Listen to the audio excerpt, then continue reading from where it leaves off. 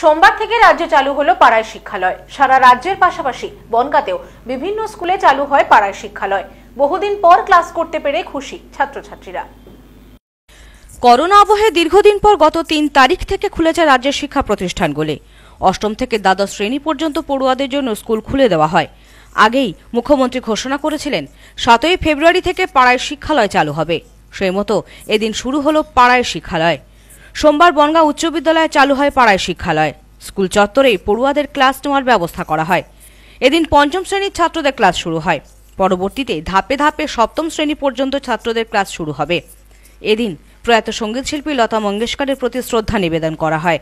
এক মিনিট নীরবতা পালনের মধ্য দিয়ে সুর সম্রাজ্ঞী লতাজিকে শ্রদ্ধা জানান শিক্ষক ও ছাত্ররা।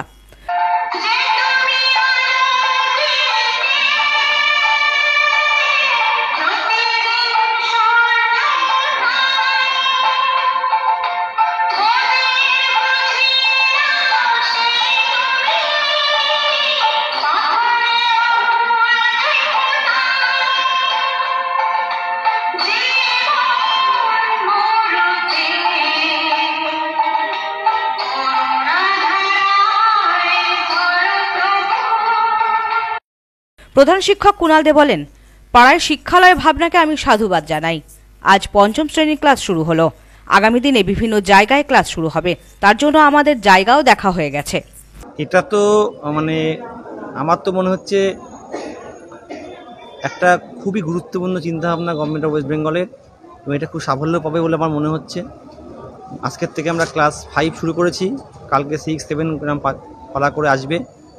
এবং আমাদের স্কুলের মধ্যে আপাতত আমরা শুরু করেছি। বাইরেও আমরা বিভিন্ন জায়গায় ভেবে রেখেছি সেখানে আমরা ক্লাস করব। আজকে আমাদের একটা বিশেষ মানে দুঃখের দিন আমাদের। আমাদের যে দেশের আইকন লতা মঙ্গেশকর গতকাল মারা গিয়েছেন। তাকে আমরা শ্রদ্ধা জানানোর জন্য আজকে আমরা সমস্ত ছাত্রদের অ্যাসেম্বলিতে ডেকেছি। অ্যাসেম্বলিতে রাখার পরে আমরা তাকে গানের মাধ্যমে তাকে আমরা শ্রদ্ধা জানিয়েছি।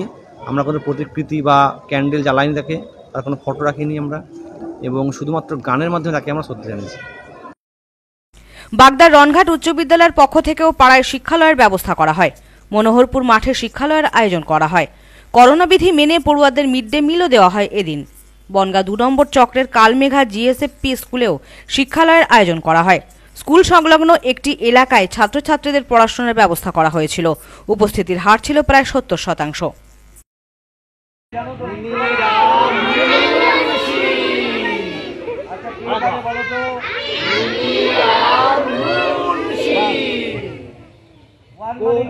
নাক